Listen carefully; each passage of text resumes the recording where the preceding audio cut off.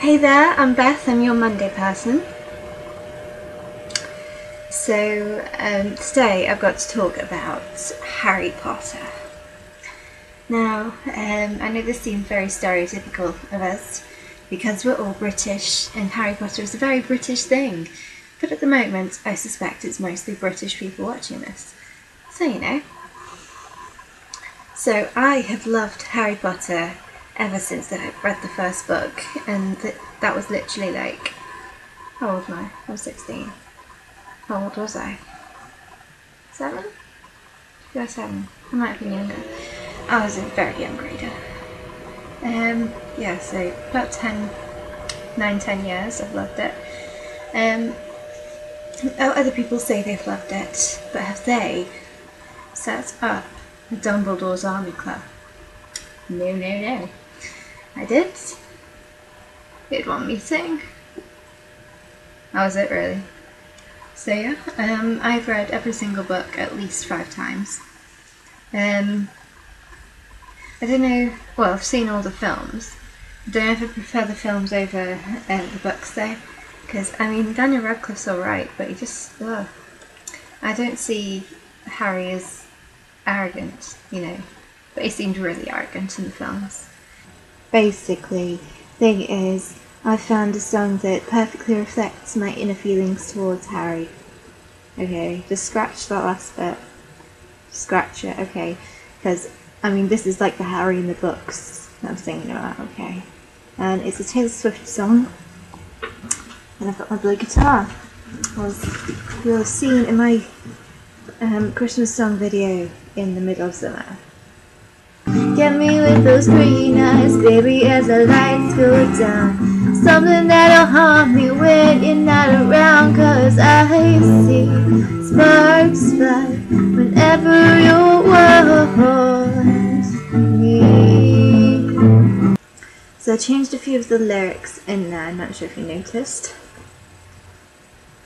I suppose she didn't really write about sparks flying when ones meet but it's basically meant to represent um, Voldemort and Harry's struggle over having the same core in their wands. Basically, it's quite complicated. Um, so, and I think the chorus really captures my feelings for Harry because it's like, "Get me with your green eyes, baby." Ironically enough, this also captures my feelings for Harry Styles, and he has green eyes too. Just to be ironic there. Anywho, blue guitar, green eyes. That is my view on the books and stuff. Okay, I'm gonna like do a crossover here sort of thing here. Doctor Who. Because I love Doctor Who too. Um, and you know a few episodes back, oh yeah, should I just go, spoiler alert! If you haven't watched it. A few episodes back when, um, well actually it was the first episode. Great. Um, when they had the Oswald Oswald episode.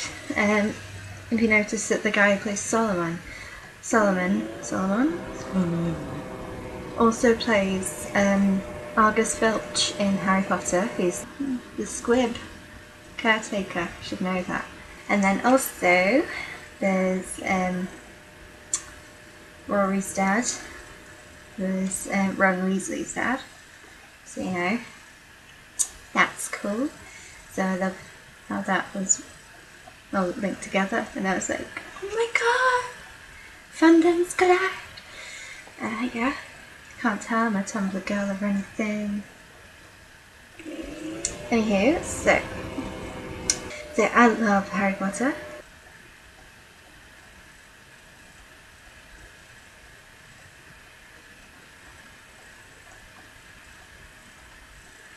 This week we have a new, what should I call her, trainee? That's her first week anyway. I suppose you wouldn't really call her trainee, but she's got the job! Um, so this is her first week and her name's Meg. So everyone be nice to her because we love her. I've only talked to her like twice. But you know, we're gonna get to know each other. Um, yeah.